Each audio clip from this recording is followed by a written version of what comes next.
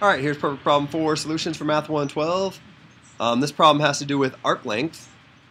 Uh, so maybe before I start anything, let's talk a little bit about arc length. We can come up with a little, wow, this is going to be annoying. We can come up with a formula for arc length.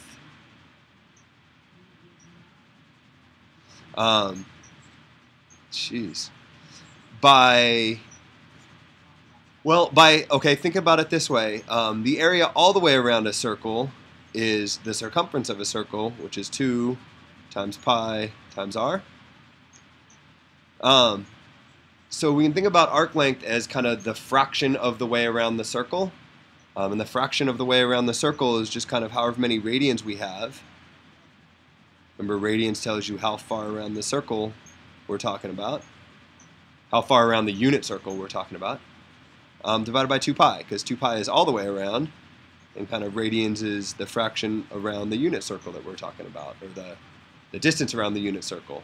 So this right here tells you the fraction of the way around the circle we're talking about. Um, but what's kind of nice here is the 2 pi's cancel out, right? This 2 pi and this 2 pi cancel out. What we get is arc length is given by just the radius of the circle times however many radians we have. Um, so that'll be really helpful that having that as a little bit of a formula to use throughout this problem. Um, so let me show you. Number one, um, Forrest ran in a straight line from Dar es Salaam, Tanzania to Nairobi, Kenya, and estimated that he ran 415 miles. So the way to think about this is the Earth is our circle. Um, it's important to note that Dar es Salaam, that these three cities that we're talking about, all are on the same longitude. So the latitude kind of tells you the way around the circle. You can kind of, maybe a picture would help. Um, here's the Earth, which is supposed to be a circle. Um, and it's really a cross section of the Earth, maybe um, one latitude, so given latitude of Earth.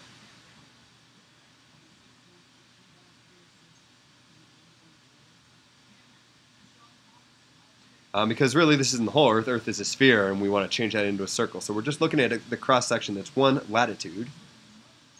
Um, and then the countries that we're talking about, well, let's see, Dar es Salaam, Tanzania is at 7 degrees south.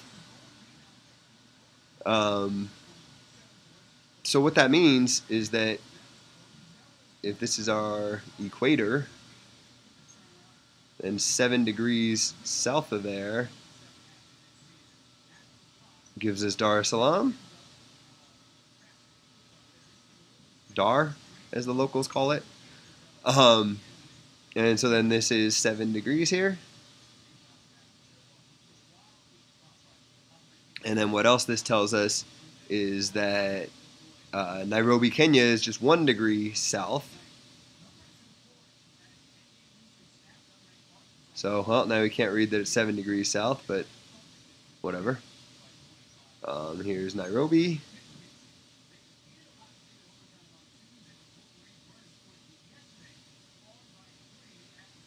Um, and so, and then I guess I can do one more. Moscow is 56 degrees north, so way the hell up here.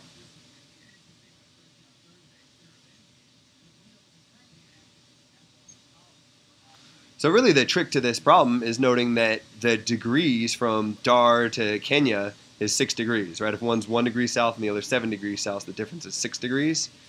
So what we have is six degree, um, maybe latitude difference.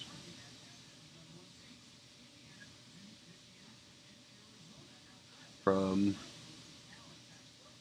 Dar to Nairobi.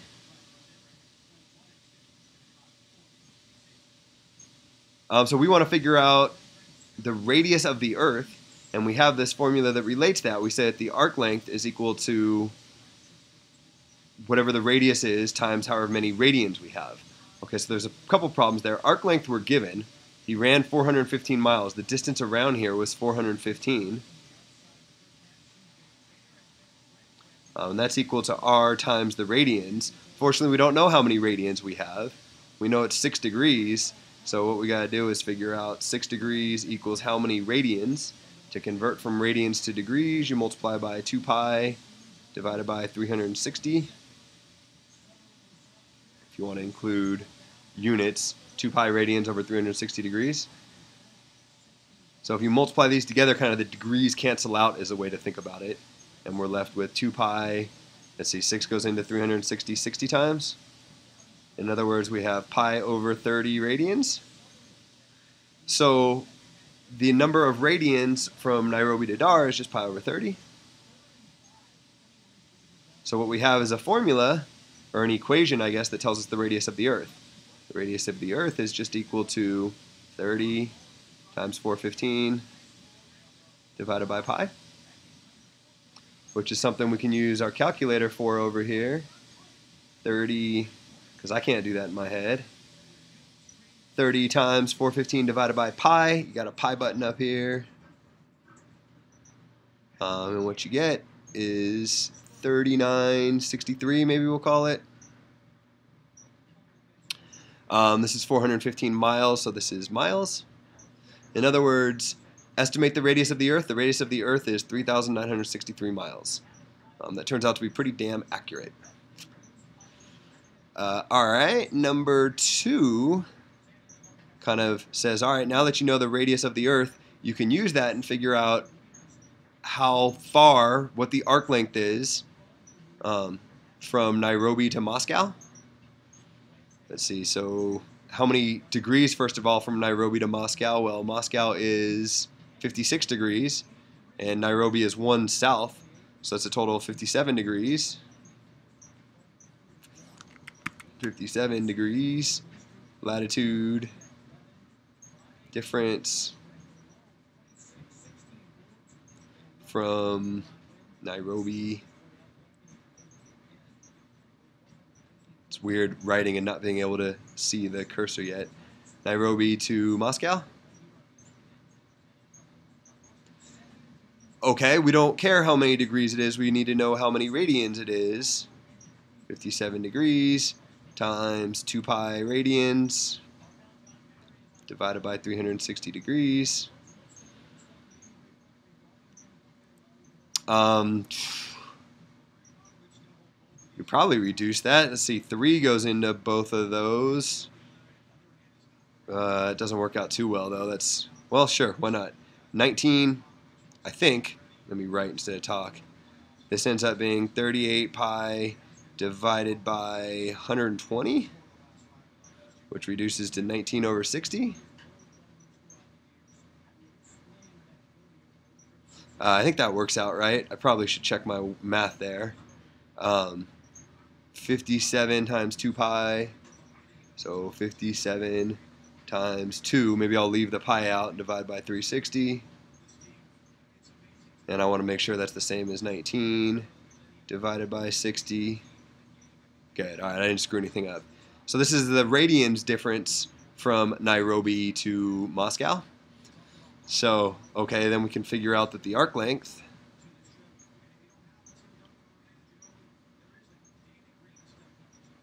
We know that arc length is just radians, which is 19 pi over 60,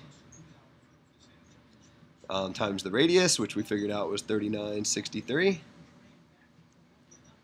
And you can plug that into a calculator. It's that thing times 3963 times pi. And what you get is that the distance around the outside, the arc length from Nairobi to Moscow, is 3,943 miles. Long way. Um, all right. So that's the answer to part two. If you wanted to run from Nairobi to Moscow, you'd have to go 3,943 miles if you ran in a straight line. If you ignored the fact that there's probably lots of mountains and ocean, oceans? No, rivers, anyways, in the difference. Maybe a sea in in the between the two of them.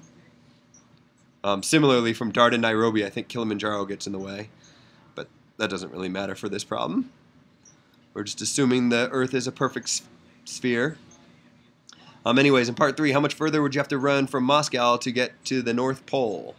So let's see, from Moscow to the North Pole.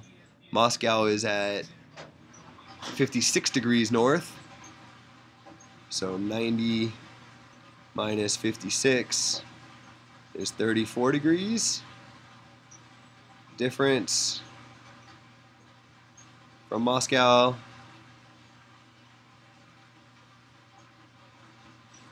to the North Pole. Um, but again, we don't care how many degrees, we care how many radians.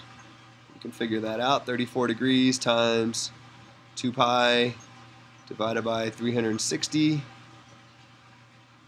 um, equals, I don't know, I'll use a calculator here, 34 times 2 divided by 360 gives me this nasty decimal, but what I can do is change that back into a fraction um, by using the math thing here, convert to fraction, and it'll tell me that 17 over 90, and don't forget we still had that pi.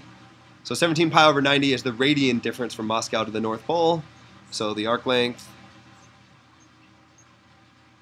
is 17 pi over 90 times the radius of the Earth, which was 3963, which we can figure out is our answer times 3963 times pi. And we get 2,000, uh, 2,352 miles.